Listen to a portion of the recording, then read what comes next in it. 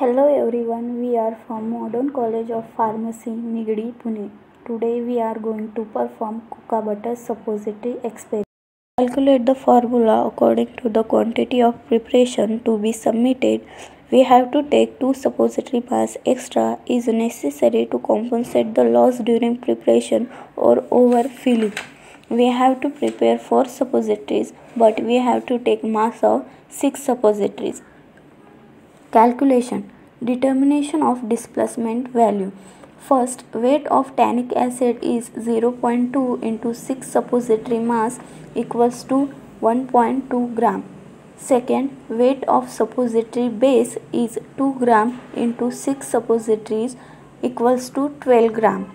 Third, displacement value of tannic acid is 1.6 According to the definition, 1.6 of tannic acid displaces 1 gram of base.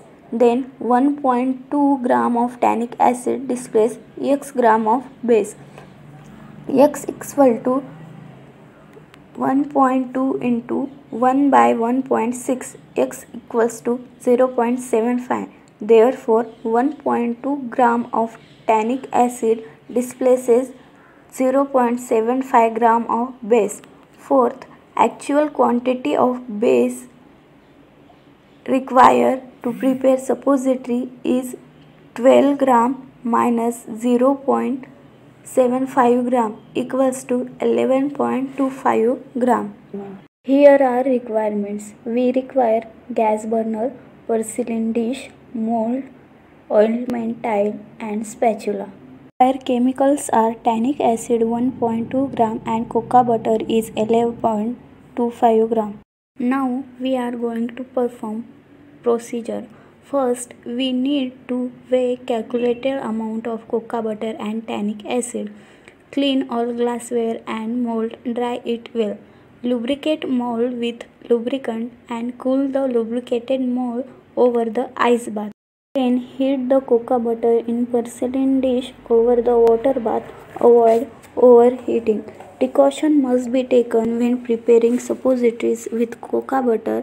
The base should not be heated above 35 degrees Celsius because cocoa butter is a polymorphic substance. On overheating, will get to a metastable structure that melts at 25 to 30 degrees Celsius.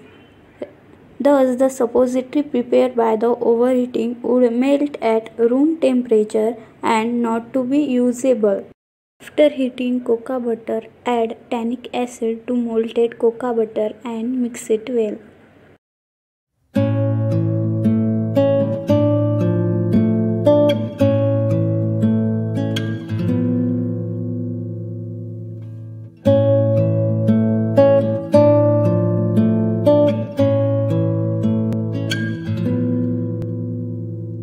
After mixing cocoa butter and tannic acid, pour molten mass into a mold and allow to solidify using ice bath.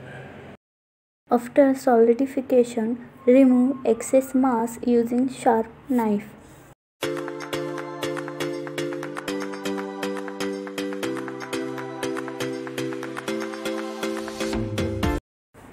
After complete solidification, open the mold and remove the suppository by tamping on base end. Individual suppository is wrapped in a butter paper separately, packed into a suitable container or a box.